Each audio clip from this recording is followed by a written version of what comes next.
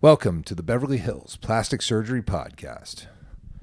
I'm Dr. Jay Calvert, and today I am here with my most non excessive skinned, eyelidded co host to talk about blepharoplasty, Dr. Millicent Rovelo. Good evening. How are you? I'm good, and I noticed that you do not need blepharoplasty anymore. uh, anymore because I had one. so therefore, I will speak to this as a patient and a doctor. Yes, I and I will talk to you as a patient also because I need blepharoplasty. something awful. As a prospective patient. It's not even prospective. Like it's an emergency. We should go to the OR immediately following this podcast your and take care of it, please. So, blepharoplasty is a procedure for the skin of the eyelids. This is part of our 101 series where we're just really trying to hit the basics in a very basic, short, and sweet manner. We struggle with that sometimes because we take detours, but we're going to really try and just hit the sweet spots here on blepharoplasties. And blepharoplasties is basically surgery of the eyelid. And this can be the upper eyelid or it can be the lower eyelid. So let's just jump right into it and talk about the upper eyelid. The upper eyelid's pretty straightforward. The technical term for needing a blepharoplasty is really dermatochalasis. It's the mm-hmm. diagnose, diagnoses we made that say, oh boy, there's excess skin needs to come off. There can be hooding. There can be brow ptosis. That's all involved in upper lid Right. Blepharoplasty that has to be considered. Especially, I I typically don't like to consider just doing eyelid surgery without the brow. Right. Because usually it goes hand in hand. If you are at a stage or an age where you have developed excess skin of your upper eyelids, you've probably also developed some degree of eyebrow ptosis, which just means that the eyebrows now sit a little bit lower on the forehead. And so together, the low position of the eyebrows with the excess skin of the upper eyelid just sort of closes off the upper eye and makes the eye appear smaller. And a lot of times, these patients, you, you can diagnose them depending on their level of Botox because they are constantly activating their forehead muscles to raise their eyebrows up or to get that extra skin off their eyes so they can actually see. So they're constantly contracting their forehead muscles to raise their eyebrows just to open up their eyes. And if you only address the eyelid skin, and say you take the eyelid skin that's extra, but you don't do anything with the upper brow, the brow can drop even lower because Yes. now the forehead doesn't have to work as hard to open up the eyes so that you can see. And so the brows now drop even lower on your forehead. And now you just look like you're mad all the time. Yeah, because it does. I mean, that's the bottom line is that the when you take skin out of the upper eyelid, it's going to recruit that skin from somewhere. So typically, it brings the brow down. Right. And I have seen this in people who just get their eyes done, quote unquote. Mm-hmm. Doing the brow is really important. So a brow lift with the upper blepharoplasty, plus or minus some fat excision from the fat pockets of the upper eyelid. There's uh, I, I typically take some fat out of the medial and middle fat pads. Right, I don't too. typically go underneath the orbicularis oculi muscle and take out what's called the SOOF, Mm-hmm. you know, the or, orbicularis oculi fat pad that's underneath the uh, the muscle. There's no need to. I, There's, I- there's no need to. That that'll give you that very kind of hollowed out Skeletor look, which had a moment I think maybe back in the 80s and 90s. But we've learned that by doing that, you tend to actually age the Yeah. eyelid area, and that's not what we're trying to do. We're trying to make it rejuvenated. So minimal fat removal. Most people have a little bit of excess right in the corner of their upper eyelid that's safe to take, but getting too aggressive with the fat removal is just not necessary it's not cute. and it's not you, you don't It need is, it. doesn't look not good. cute. You don't need it. But one of the things that's really important when you're going in for your upper lid blepharoplasty evaluation is there's a few things you do have to rule out to make sure are not also contributing to your eyelid problems. And one of them is just ptosis of the actual eyelid itself. It's a very big word, Ptosis, ptosis. P T- O S I S.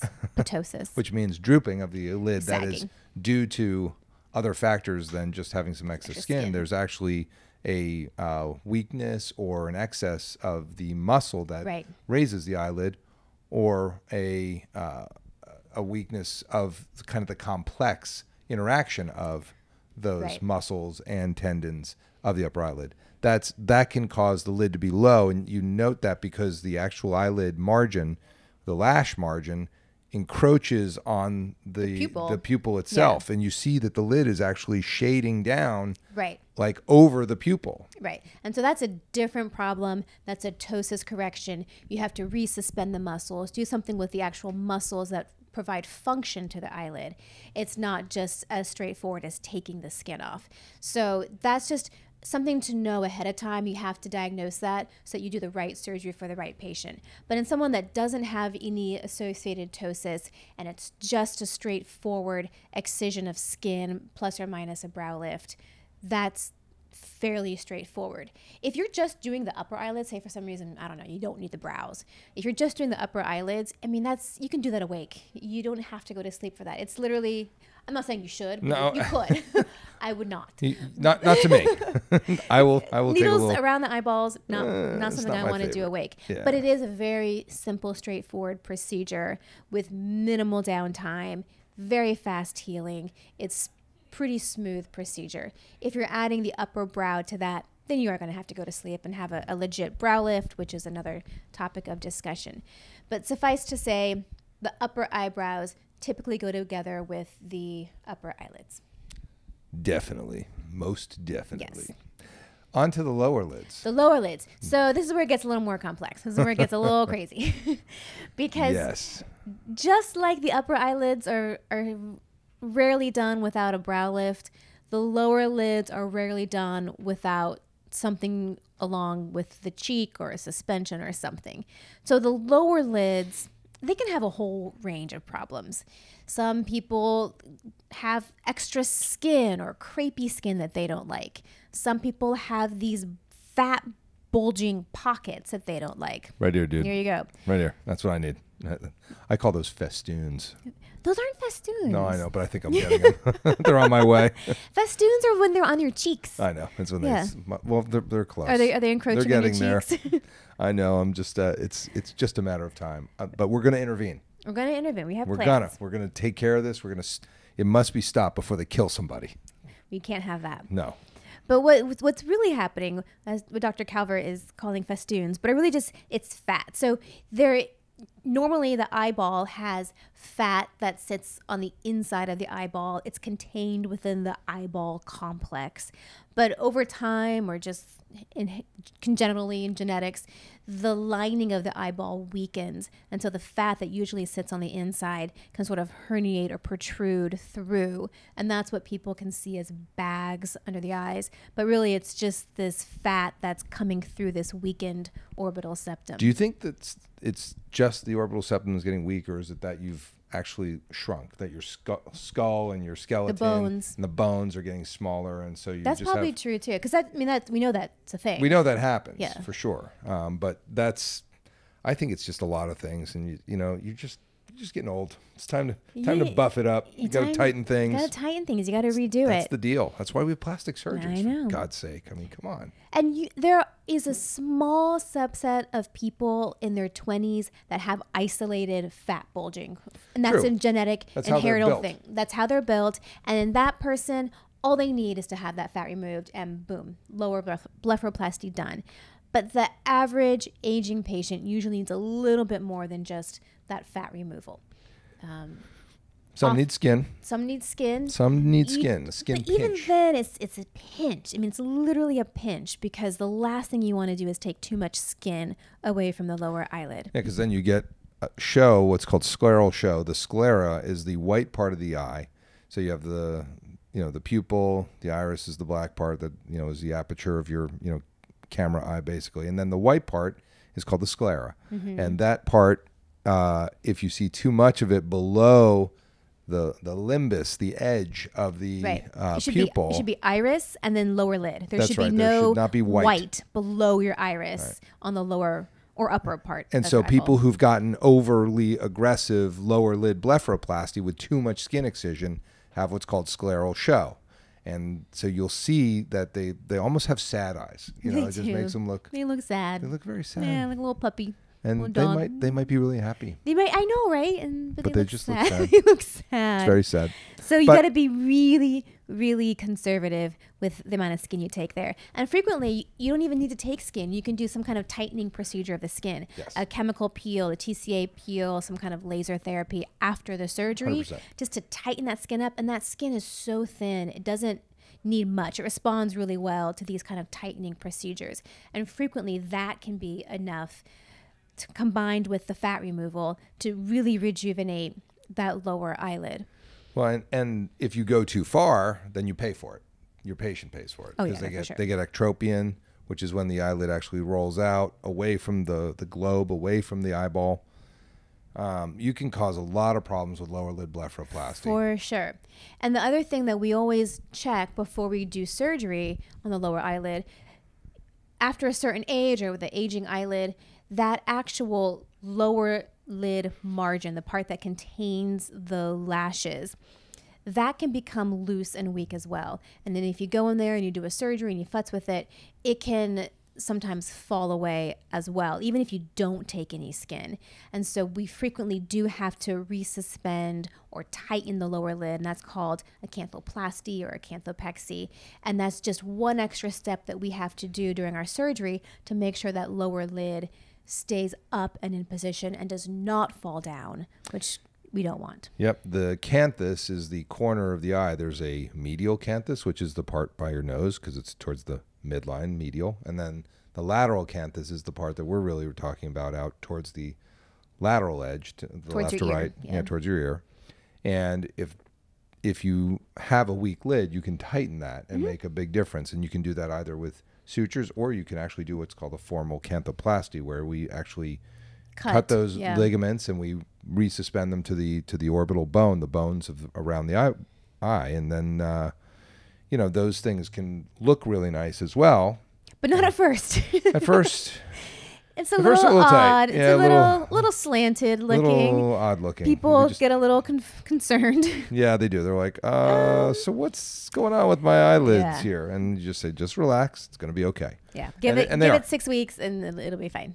And they'll relax and they do great and they're nice and tight then, and you have a much better look. Right. One thing I will say though about blepharoplasty is that I, I think a lot of people that get blepharoplasty and people that do blepharoplasty underestimate the complexity of these operations. I think they're very complex. Oh, I think they're super complex. Yeah, the, the eyeballs and, and how they interact with the eyelids and the cheek and the, the forehead. It's it's it's a very integrated system, and it's you really can't treat it in isolation from the rest of the face. Right. And that's like the the classic of the the guy that comes in and says, I want to just get my eyes done. and they need a facelift. And they you need a facelift. And plus, plus, plus, plus, plus. So with with this area, the upper facial area where blepharoplasty happens, when you're talking about upper lids, to me, you're talking about upper lids and brow. When you're talking about lower lids, you're talking about lower lids and some sort of cheek lift or mid facelift. A thousand percent. Outside of that person, the 20 year old that just had some fat bags, the average person coming in for aging eyelids has some kind of what we call lid cheek descent or, um, yeah, I guess descent. So the junction between where your lower lid stops and your cheek begins is called the lid cheek junction. And with time and with age and with gravity, the cheek sort of falls away from the lower eye bone and you see a groove. People try and frequently fill that with fillers or fat Yes. to camouflage this groove. But really, what you just need to do is resuspend it. You got to bring that soft tissue of the cheek back up over that lower bone Yep, and do. smooth it out.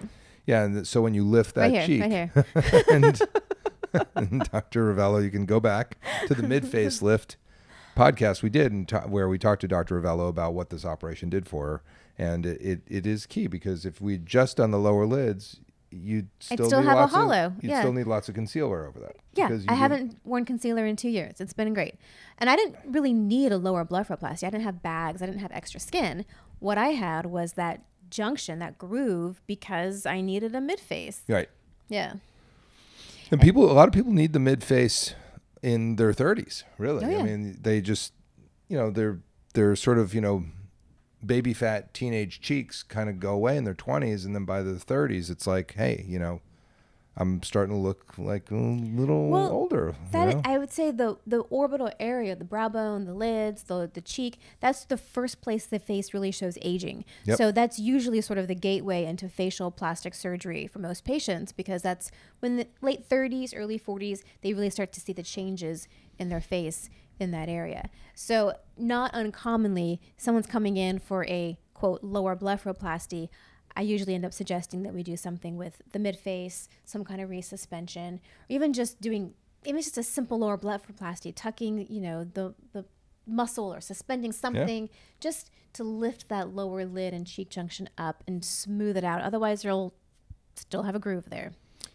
and that's the whole point. You want it to look rejuvenated. So fill it in, elevate it, blend it, make it look good. Do you do fat grafting in the lower lids? I do not. I have been down that road, and uh, no, thank you. Yeah, that's a tough one. I don't like fat grafting there. If it's not, if it's not perfect, it's a problem. That's Right. the that's the issue. And and I've had, I've had to pick fat out of orbicularis oculi muscle. Like it's not it's not good. It's not, I I would prefer to use fillers any day of the week for that area. It's just it's a very thin skinned area. You can see any irregularities so easily. The fat is not super specific in terms of where it ends up going, so it's tricky. I would rather just do the lift or do some kind of suspension and obliterate the problem rather than trying to fill it in with something. Yep, That's, agreed. that's my idea. Surgery is better for that. It really does work. If you release that ligament on the lower lid and let that fat spill out, I, and I make a little pre-periosteal pocket so mm-hmm. it's I don't get under the periosteum, which is the thick coating of the bone. I put it above that. It just looks great. Yeah, just smooths everything out. And so all of these See? see Right See? here, for those of you listening at home, go to the YouTube channel and check it out. You can see it there. You can zoom in. That's right. Um, and all of these procedures can be done at the same time. So it's called a quad quad bleph. That means we're doing four eyelids, two uppers, two lowers at the same time. Can definitely be done together at the same time. If you're at all thinking about doing all four, you should do all four at the same time. It makes no sense to do them piecemeal. like three eyelids. two Do uppers, two uppers, one lower. one lower. Just leave the left one alone. I yeah, think it's yeah. okay. I think it'll be fine. no, but you definitely can do all of them together. You can do it with the brow. You can throw a facelift in. You can, you know, do the whole thing, the whole shebang. It can all be done together. right. Um, or you can just do the uppers, or you can just do the lowers. But whatever you need. Yeah. So in in the world of uh, of Hollywood, um, a lot of times I'll do this one, you know, one six month period or one year, and do this as the other part, so that like especially This for being so you, the upper. the listeners. Yeah. Oh yeah, that's right. Sorry. The upper facial rejuvenation first, Yes. and then the lower facial rejuvenation next. And when I do the upper part, I do brow, blephs, mid face, all once. Yeah. Um, and then go down later and do the face, neck, lip lift, whatever. Right. I mean, if you do all of that together, that's a full. That's a full deal. It's great. But yeah, it's Well, if you'll be here on Tuesday, it's a big uh, recovery. We're doing we're doing facial implants, facelift, revision rhino. It's it it's an extravaganza. makeover, Yeah, but you know, it's like it's like everything's small, but it's a lot at one time. So it's going to be a big big makeover, which can be done. which can be done. But if you're just doing the eyes, recovery for that, um, it's not bad. You know, from a pain standpoint, if you're doing the brow, you're going to have a headache. It's going to For be Dr. Vello, it's two days. yes, and you're back in surgery, no problem, literally. Um, For anybody But- else, it's a week. else A week to take 10 some time days. off. You're gonna have some swelling. You're gonna have some bruising. Pain is is really not bad. You may have some vision changes for six weeks. I think I had to wear glasses for six weeks because my eyes were just swollen. You know, the muscles Yeah. were swollen. They weren't quite working together in tandem. So it was just easier for me to use glasses and see than to try and get my contacts to coordinate with my muscles that were still really Well, swollen. well, and also from the uh, when we do a transconjunctival lower lid bleph, you get a little bit of leakage of serum and, and Right. proteinaceous fluid that does can blur. You got. I just tell people carry some tears with you, wash them out. Right. After about a week, that kind of goes away. Yeah, you can. You may have some dry eyes after after a while. That usually goes away. And we should say that the for that blepharoplasty, that transconjunctival approach, that's an incision on the inside of the eyelid. So if you're not taking skin on the outside, the only incision you're going to have is going to be on the inside, on that inner part of the eyelid, so you don't even see it. But it can give you some problems, yeah, with some dry eyes and stuff like that. So dry eyes, some bruising, maybe some temporary vision changes while your swelling is still there.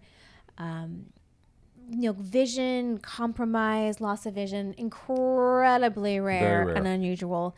Um, that's just not a thing. But I would say probably most common complication long term would be dry eyes.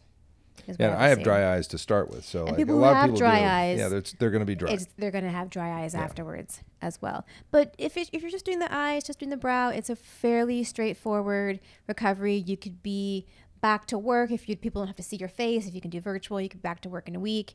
If you know you have some bruising and some swelling, maybe give it a week or two. But it's and if you don't care what people think about you, you can be back to work in a week. It's fine. There it's you go. Pretty simple. Um, Yeah, I think that's kind of all the the highlights. That's it. for our 101 series. for our 101, we'll get in the weeds in a We'll in a little one. bit. We always do cost. Cost of a blepharoplasty.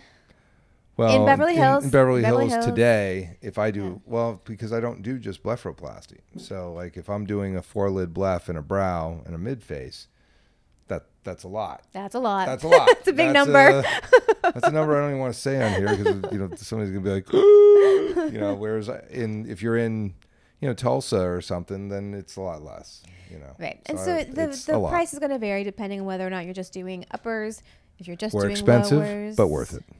That's what I say. That's, but that's just my motto in life. Well, I mean, but the thing is, do you want to like? I don't know. You know, it's hmm, it's very very challenging. You don't want to skimp on your plastic surgery, people. That's what I'm going to say. You don't. You know, you don't. You don't. want to skimp. You want to go to somebody that's tried and true, has lots of good results, and is going to get it right for you. And and and if things aren't right, they're going to work for you to get it right. So like that's when you find out how good your surgeon is. Is when there are problems.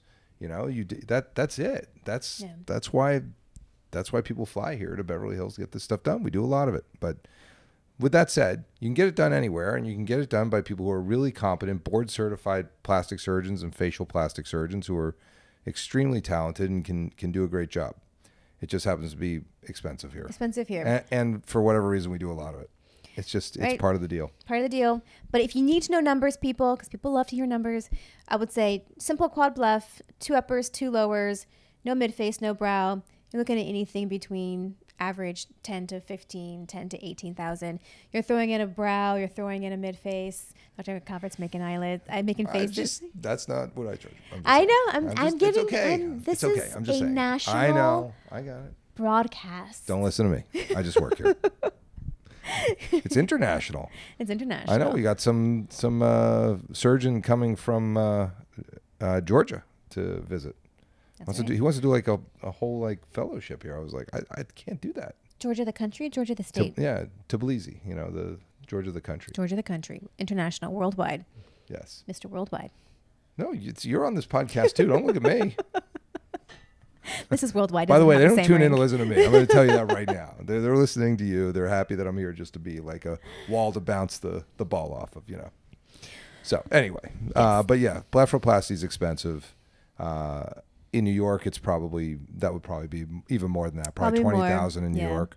Throw in brow. Dallas, it's probably like eight or Yeah. nine. I don't know. I don't, I don't know what the prices are there. It's, it's so If you it's put so the brow and the you put the brow and the mid face into it for me, that's uh, probably about thirty five forty thousand right. dollars. Start at starting at yeah. Start adding some tens of thousands to that. And by the way, that's today. It's 2022. If you're listening to this in 2025, it's probably Well, double or know. triple, or you know now it's two million dollars Right. because you know somebody's not got the the reins on the inflation lately. yeah, inflation's a bitch. It's So- it's hurting us badly. Yeah. So yeah, but it is expensive. Expect to pay for what you get. Uh, if you want to get a great result, you need to go to people that get great results. That's all. Wherever you are. Yep. Do your homework. Let us know if you have any questions. But I think that's enough for blepharoplasty. We tried to keep it short and sweet. It was pretty short. It wasn't too bad. Sort of sweet. it's it's uh yes, I think so. Well, anyway, this is the Beverly Hills Plastic Surgery podcast coming to you from the 90210.